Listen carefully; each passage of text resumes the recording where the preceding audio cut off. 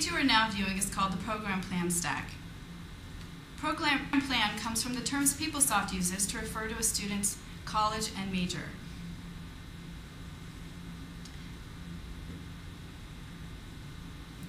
The stack refers to the stack of rows that is displayed on the page. Notice that Joe's student has a stack of three rows. We are currently viewing row one of three. Each row reflects a change in his program, plan, or status at the university. They are stacked one on top of the other, with the oldest being at the bottom.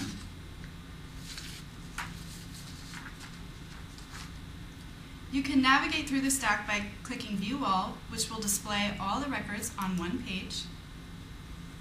If you scroll down, you can see all three records.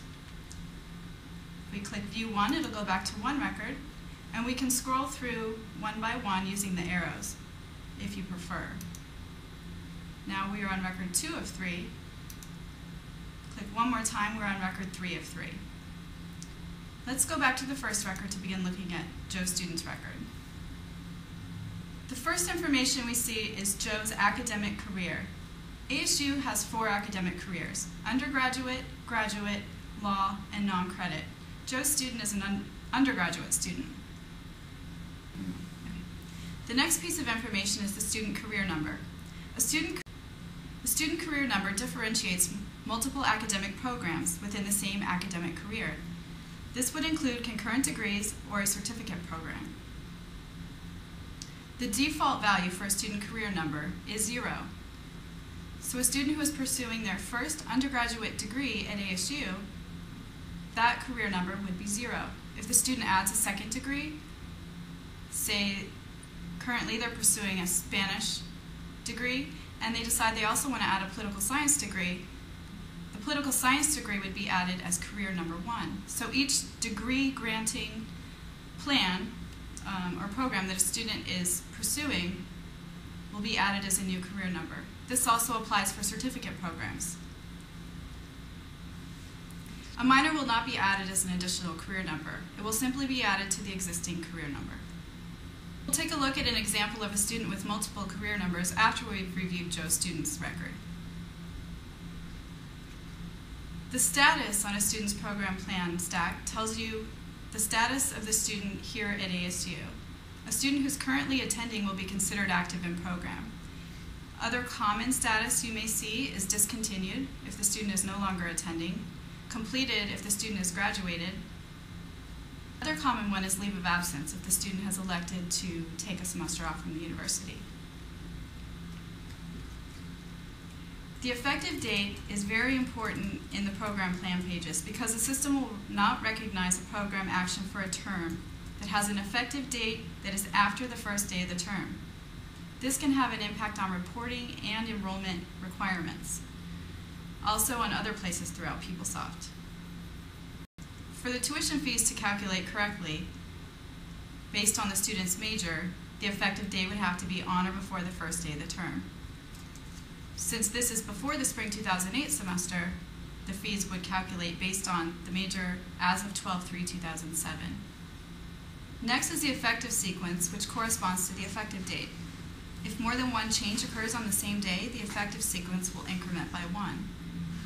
So if on 12-3-2007, another change had been made on the program plan stack, the effective sequence of the new newest change would be 2. Next is the program action. Program actions are used to make changes to a student's academic record. The most commonly used program actions are program change, PRGC, plan change, PLNC, data, discontinued, DISC, and completed, COMP, which means the student has graduated. In addition to the program action, often there is also an action reason, though it is not mandatory. In this case, the program action is plan change. So on 12-3-2007, the student changed their major or could have added a minor, and the action reason is student request. In the case of a data change, a data change is an information only change that adds an informational row to the student's record. Currently, we use data to indicate that a student has filed their declaration of graduation, filed their program of study, if they're a graduate student, and also that they've applied to graduate. The action reason of DOG F stands for Declaration of Graduation. DGAP, DGAP stands for Apply to Graduate. Next is the admit term. This is the term that a student was admitted to ASU into this degree program or readmitted to ASU. The admit term should never change and this should not be updated. The requirement term on the Student Program tab equates to the student's catalog year. Please note that there is also a requirement term on the next two tabs we'll look at, Student Plan and Student Subplan, but the requirement term on the Student Program tab is the catalog year. This can be changed if it is determined the student's catalog year is different than their admission term. Next is the academic program. Joe's student is in academic program UGLA, which stands for Liberal Arts and Sciences. The UG indicates he's an undergraduate student. Once Joe's student has applied to graduate, the expected grad term will be filled in by the graduation office. This field should not be updated by anyone other than the graduation office. Next, you see which campus the student attends. Joe's student attends here at the Tempe campus, and he is a full-time student. The number of hours he is registered in indicates he is full-time. Now that we've covered the basic fields on the Student Program tab, let's look at records 2 and 3. So here on record 1, the effective date was 12-3-2007. A change happened.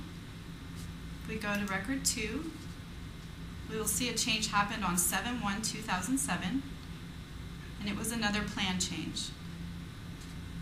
So the student either changed their major or added a minor. And then if we go to record three, we see the program action of MATR, matriculation. Once a student has been admitted to an academic program, after the admission process, they become matriculated. When a student is matriculated, they change from being an applicant to being a student, and their data is no longer maintained by the admissions office, but the registrar's office. Once again, we can press View All and view all of the records in order on the same page.